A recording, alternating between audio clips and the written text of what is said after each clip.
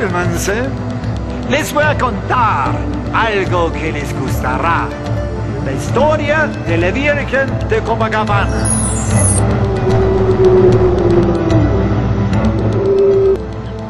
Hijito, ¿dónde estás? Padrecito, es el fin del mundo, padrecito.